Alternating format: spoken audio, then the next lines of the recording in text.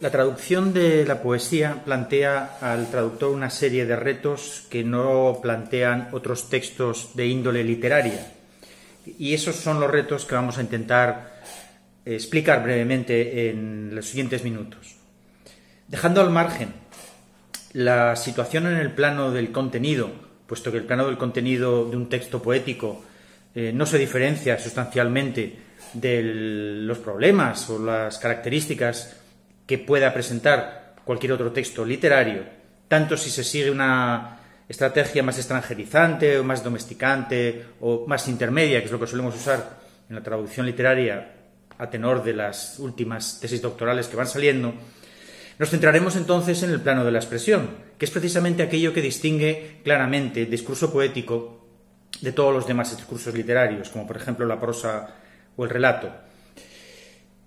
Esto significa que la poesía acentúa y semantiza todo aquello propio del plano de la expresión, que normalmente no tiene ningún sentido, en el sentido lingüístico del término, en los demás textos que, que circulan en la vida en general. Al semantizar toda la materialidad del lenguaje, se está dando una importancia igual a los sonidos que a los sentidos.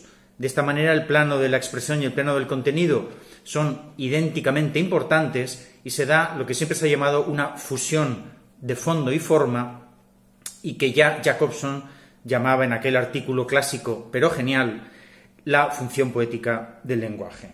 ¿Cuáles, por lo tanto, cuáles son, por lo tanto, los elementos fundamentales del plano de la expresión? Decíamos que todos aquellos que tienen que ver con las palabras en su sentido más material, más fónico, los fonemas. Lo que tenemos en un poema es una unidad distinguida en versos y cada verso es una unidad que consiste en un tiempo y unos sonidos que se desarrollan en el tiempo. Por lo tanto, lo que estamos utilizando de alguna manera inconsciente, que ahora haremos consciente, es el concepto de ritmo de la música. El concepto de ritmo, de ritmo musical está perfectamente definido, también el del metro, que son primos hermanos. El metro es aquello mensurable que permite la existencia del ritmo.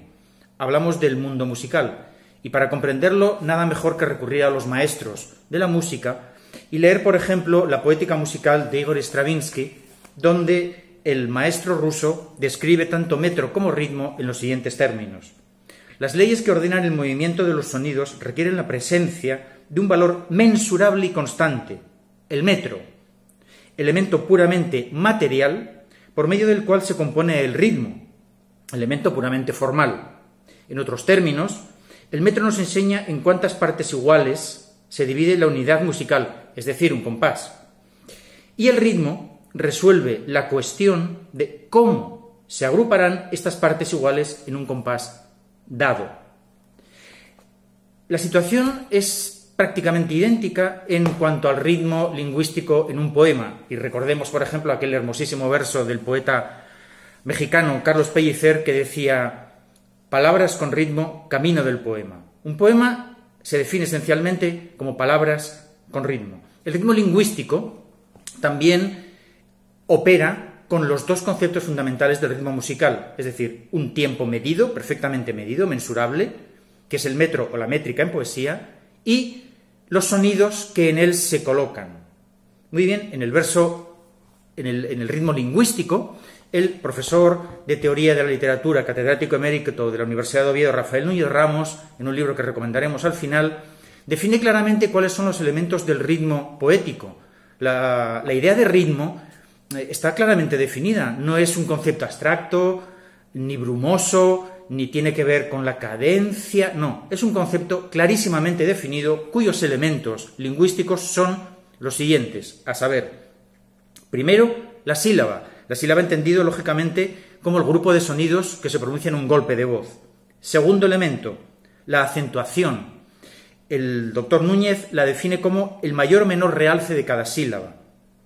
En tercer lugar, la pausa.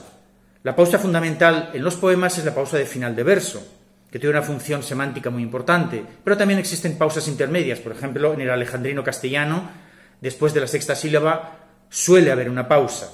Bien, y finalmente la unidad melódica.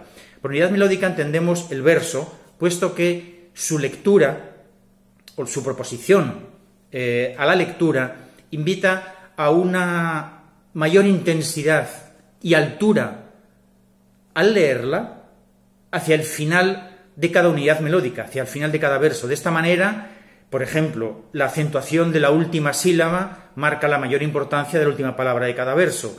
La unidad melódica también realza al final de cada verso por esa acentuación de la intensidad, pero dentro de todos estos elementos hay que añadir un quinto, que es lo que siempre se ha llamado las recurrencias fónicas. De esta manera lo que tenemos, tanto en música como en poesía, es una serie de elementos que se repiten y varían en un tiempo determinado dado.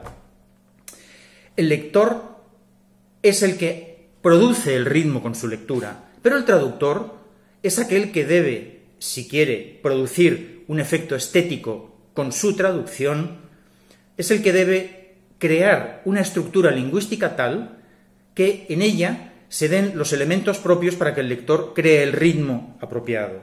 Si hemos dicho que es el ritmo precisamente el rasgo definitorio del texto poético, si hemos dicho también que en el plano del contenido bueno, pues suponemos que el, traductor no tiene mayores problemas que con respecto al plano del contenido de cualquier otro texto literario, creo que coincidiremos todos en que la clave de la producción de un texto traducido que pueda provocar un efecto estético está en el ritmo.